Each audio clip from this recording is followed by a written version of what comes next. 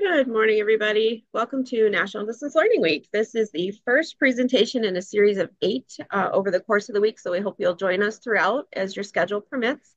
I'm Erin Maney. I'm the Manager of Communications and Community Engagement here at SUNY Online, and it's my pleasure to introduce our speaker today and a former colleague and friend of mine, Dave Ghidiu. I'm, Dave I'm a former friend? No, former colleague. You're still a friend. Okay. Dave is an uh, assistant professor in computing sciences department at Finger Lakes Community College. Dave has numerous years in online education as an instructor, an instructional designer, a jack of all trades. Dave has also spent time in his early career as a high school mathematics teacher, and he's known for his ability to innovate and find solutions for his colleagues to improve the design and delivery of their courses. So welcome, Dave. Very excited to see what you're going to share with us today. Thanks. Uh, hi, everybody. Uh, before we get started, I'd like to um, just share share out like who who you are, what you do at the institution you're at, uh, and I. So I don't know. I guess I'll, I'll, just do it alphabetically. So I see Atkinson, comma A. If you have the ability to do it with a voice, please do. Otherwise, uh, chat is good enough. And then uh, Dana, and then Gary, you're next. So make sure you start thinking about your answer. Um, all right, so uh, Atkinson, comma A, where are you from and what do you do? So I am from Columbia, South Carolina. I work for the University of South Carolina in the College of Arts and Sciences.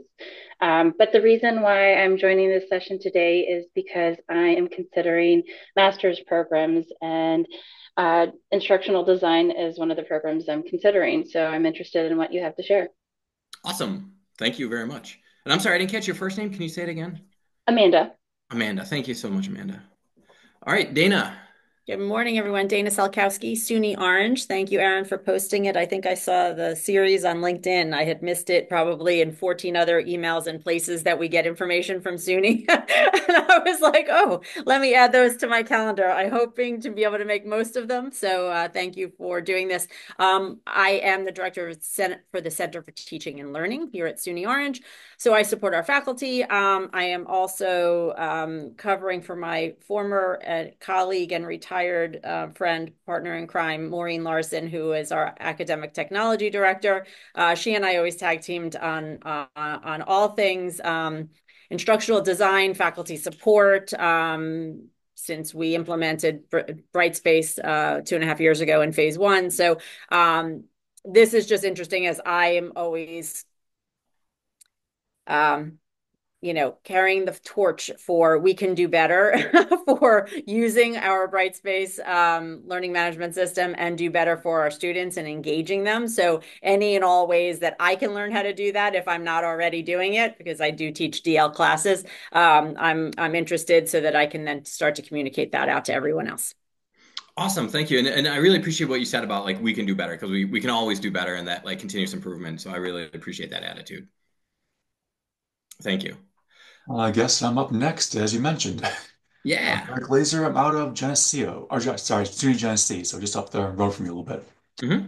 Uh, basically, professor of biology, just trying to see about more ways to integrate Brightspace and have a little more integration of students for the online classes. Awesome. Awesome, awesome, awesome. Well, thank you very much. And you said you teach bio? Yes, biology. Sweet. Awesome. Thank you.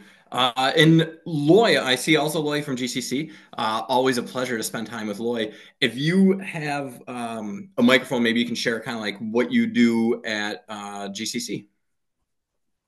Sure. Let me see if I can get this all working. So just so you know, I'm in a borrowed office, so I have no idea which of these cameras is working or whether you can hear me. Okay, we can um, hear you. The camera seems okay. to be working great.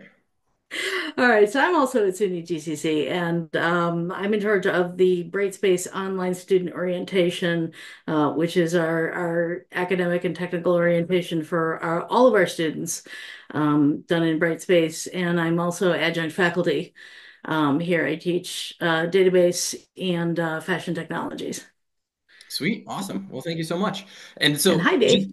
Hi, it's so good to see you again. And I, I, think you're doing a disservice by not mentioning that you do like some of the most innovative stuff I've ever seen in an online course.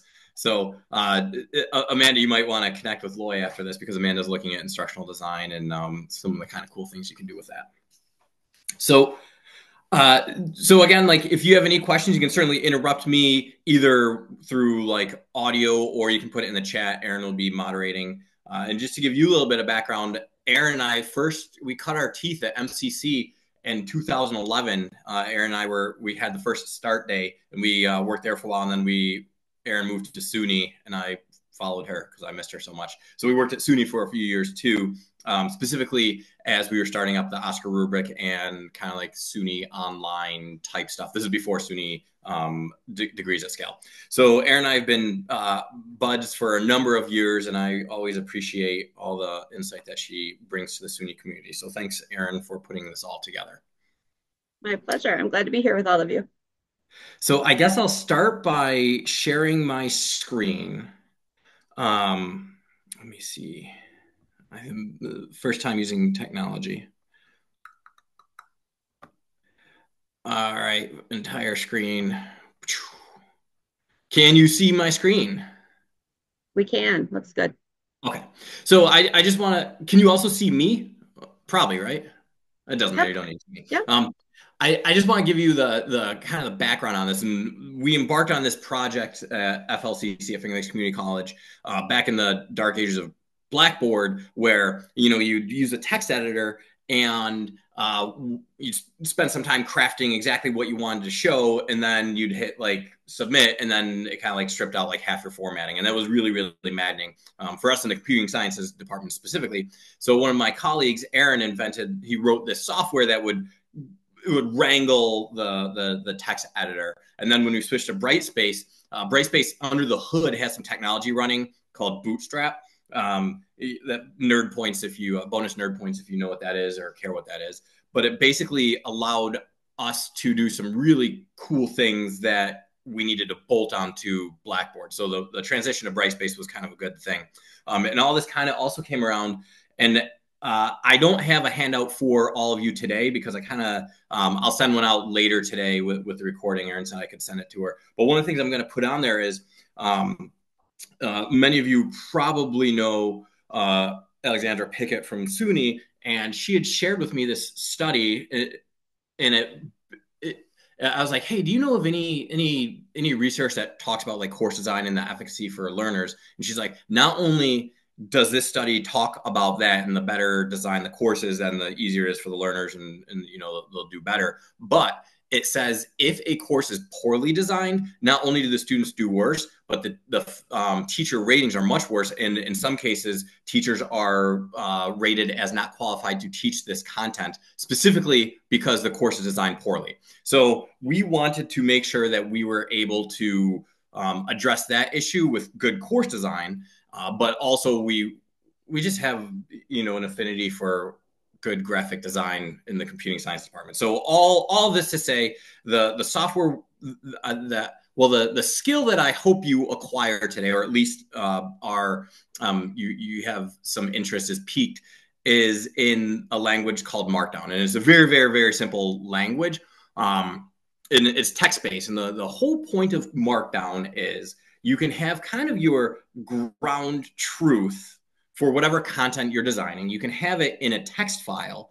And, it, and, when I say text file, there's like no headers, no heading one, no heading two, no heading three. Um, it's all it's all just like kind of like shortcuts, less. And then you can take that markdown and put it in a Brightspace and it will beautify it according to the Brightspace standards. And you can take that markdown and put it in Blackboard, and it will it will like translate it into the Blackboard and make it look pretty. So, um, and Markdown is really, really, really, really common. So the, the way that I'm going to approach today is I'm going to show you some of the very basic commands in Markdown and show you kind of like what it looks like.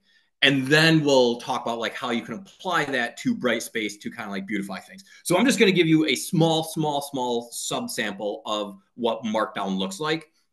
Um, and probably most of you are aware that you can make text look bold um, or underlined or italic and uh, you can do headings like heading one, heading two, heading three. Which, if you're not using styles or, or headings in Microsoft Word or Google Docs, and you're not using headings in Brightspace, you definitely should because it has a, a, wealth of value, including but not limited to accessibility. So screen readers oftentimes will read like heading one, and if the person using a screen reader is like, I already know what that says. I can skip those paragraphs. The screen reader can skip down to heading two or heading three. You can go from heading heading, uh, but it also gives you all sorts of like crazy cool things you can do in um, just in designing. So I'm going to show you very simple things. And again, I'm going to send you a cheat sheet later. And the software that I'll be demoing today has a cheat sheet built into it, but it is more expansive than what we're covering today. So I'll be sure to give this to you because my hope is by the end of our time today, you'll feel brave enough to kind of try this once or twice before part two, which is Thursday. And um, in the part two session, we'll kind of you know a- answer any questions that you might have and then move on to kind of the the the really like heightening the curb appeal of your course. So if you were say to type in a text file, you could say like this is a basic text file. Um, this has some really neat text. So I'm just going to show you what this is. This is exactly what Markdown looks like. And I'm going to copy that. And then I know, again, this is going to be a very pedestrian example, but I'll put it in this paste in this paste it here, and you can see that if we surround text with one asterisk, then it becomes italicized. If we surround it in two asterisks, it becomes bold. And that's the, essentially what Markdown is. And you kind of have to know some of the other features that you can do in Markdown. So, for instance, you could do one pound sign and say like, uh, let's say that we're we're talking about math and we're in a geometry class. That's called heading one, and you can see what it looks like there. It just you know makes geometry look big, and you can have whatever text you want. Let's say that we have two paragraphs, and you can see it kind of waits until I'm done writing before we'll render that. And I think what I'm going to do is I kind of want those paragraphs to be meatier. And then maybe you have like heading two. So maybe geometry, maybe we're talking about triangles. So heading two would be two of these, and you just say triangles, and maybe you have some text about triangles. Uh, and then maybe you are talking about circles. And so you can have some text there. Uh, and then you can have like a third level if we just, you know, maybe we're, when we're talking about triangles, we're talking about isosceles triangles. So now you can have like this third text. And with this particular software, you can also left align it or keep it centered um, as far as the heading is concerned. So that's the basic premise of what we're doing. Um, and I'd like to show you kind of like some samples of what it looks like and, and why you might want to do this in Brightspace. So in my Brightspace course, this, this is a an FYE course we have for our computer our computer science learners, and um, I like it because if nothing else, I can do this. Is actually called jumbo. Oops, this is called jumbotron, where you see this big bar, and I like it because if you have subfolders. So, for instance, in this um, let's look at this computational. Actually, we'll look at careers and planning. That's where I am right now. The career landscape is a subfolder. Personality test is a subfolder. Resume. So there's an awful lot of content in here. So just by putting these jumbotrons in, we're able to, at first glance, parse the content mm-hmm. into digestible sections. So there, there should be little ambiguity if someone's coming into Brightspace, even for the first time. Um, they they might see that like we have oh so that's like a, a chapter in this unit. And this is like a chapter in this unit. Um, so so i i like using the jumbotron and i'll show you the jumbotron. Actually i'll show that to you right now. And Dave, just one quick question. I just wanted to clarify. So in markdown you can copy and paste in or type directly in? So so the way that it works that's a great question and thank you for bringing that up. So the way that this would work is you can pay you can, this software and actually i'll I think I'm I'm gonna put this right in the chat right now. Um, oh, thanks, thanks, Erin. wow, Erin, you're so good. Uh, so th- this is a software that Aaron developed, and um, and, not and this the, Aaron. The, Let's just clarify. Sorry, thank you. Not yeah. this Aaron. Uh, Aaron Sullivan, who teaches uh, video game design at, at Finger Lakes Community College. Um, Aaron, Aaron Sullivan developed this software and the way that it works is you take this text and then you can copy the HTML. I mean, I guess you could go here, select all and copy, but that's exactly what this copy HTML button does. And then in Brightspace, um, I guess I'm just going to go into a, a, course that's live. I won't publish, don't worry. Um, and then I'll just pick a chapter. Uh, I'll pick this chapter.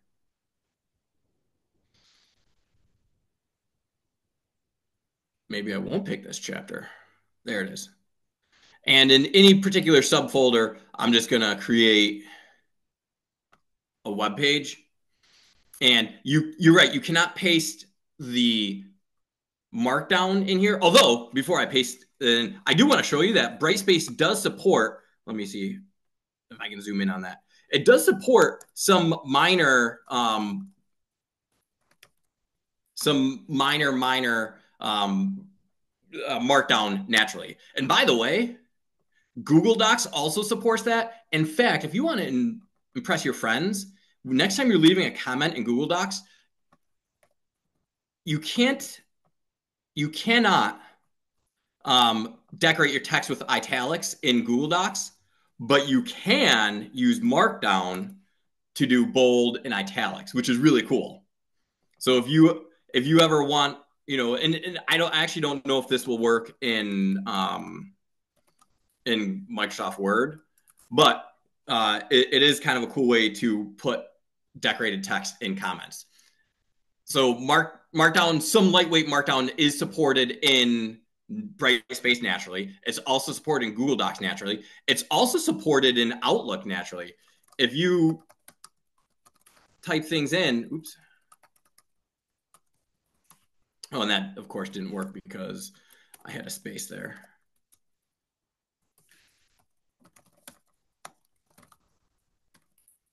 I don't know why that's not working. Um, but at any rate, um, it, Markdown is supported in a number of places. In fact, one of the first, one of the best places I use it, and I, is when I use ChatGPT. One of the problems that I have with Brightspace, and, and I, I, know this is such a roundabout way to answer your question, but I promise you an answer is coming.